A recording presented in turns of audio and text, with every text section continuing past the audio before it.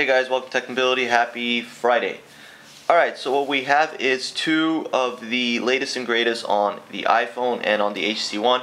you got 4.3 Jelly Bean, you got iOS 7 Beta 4, and you got their respective keyboards. Now these two are their stock keyboards. You can see, obviously, no third-party keyboards here, completely bone stock. And I wanted to go through and just do a few tests here with both of them. The reason why is because with 4.3, Google has added uh, OpenGL GPU acceleration. And one of the areas in which I found it to be improved is the keyboard. I know they said that it's supposed to improve apps and multitasking and third-party apps and whatnot, but really the keyboard on 4.3 is even more improved than what you get with 4.2. And 4.2 was good, but it still was, you know, a little behind on what you get with iOS. And maybe even for the most part Windows Phone. But uh, the keyboard now at 4.3 seems to be on par with iOS, and I can say that legitimately without even thinking twice. It's really good, and I'm going to show you guys what I mean right now. So first thing we're going to look at is the iPhone. Obviously, you have iOS 7 Beta 4, and you have uh, the white keyboard or whatever, the transparent keyboard here. Now if I just go and type,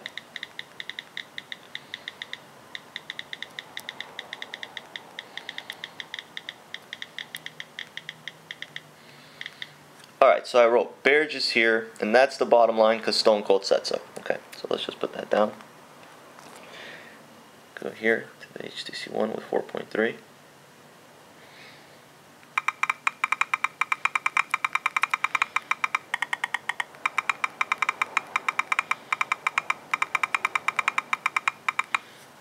So I got Bears is here, and that's the bottom Oiner because Stone Cold said so.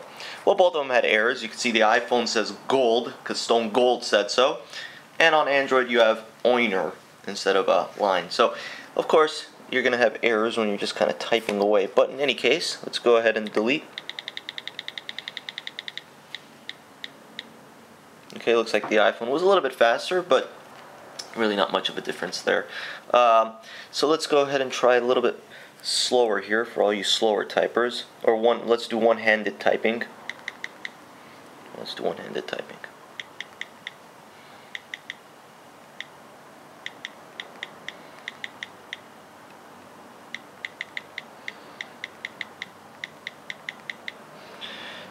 So I put, hey, how are you today? Let's go hang out. Alright, let's see one-handed typing here on the HTC One.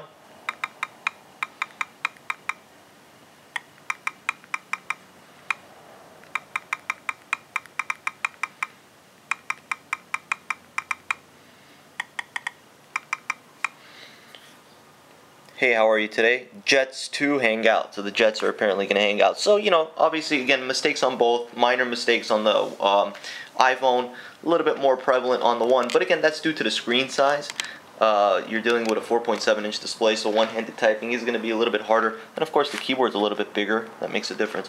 But in just in general, I mean, just uh, using the keyboard and the feel and the touch, um, you know, let, let's just do a quick type here.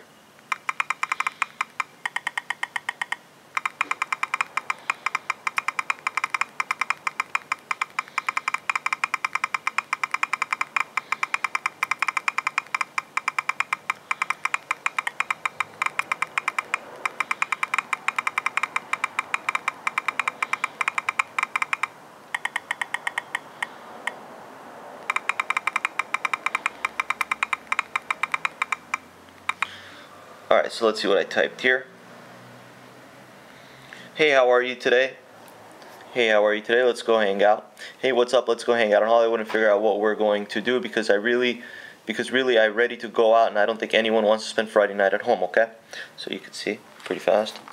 Alright, let's try that here.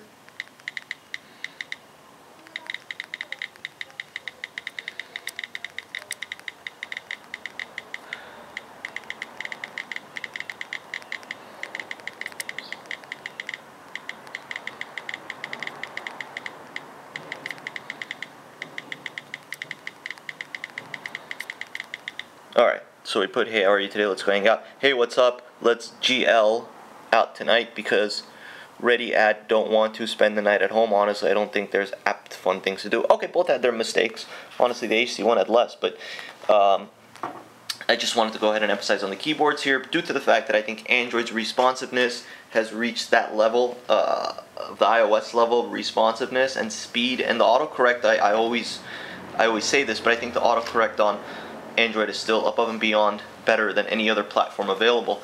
But with that said, both keyboards are still fantastic. Um, you're going to get a solid experience with either or stock out of the box. There are third-party options for Android. You don't get third-party options on iOS, which, you know, to this day, I'm a little bit shocked about that. It's like, you want third-party keyboards without jailbreak, never going through that process, uh, but you can't get them through the Play Store, or you can't get them through the App Store. Whereas with Android, there's so many third-party options. There's gesture-based, there's slide, swipe, all sorts of different types of, types of keyboards. So options. Options are always a good thing. Uh, we're, we're very big fans of that, and obviously now with the newest iteration of Jelly Bean 4.3, it looks like they've improved even more in this regard.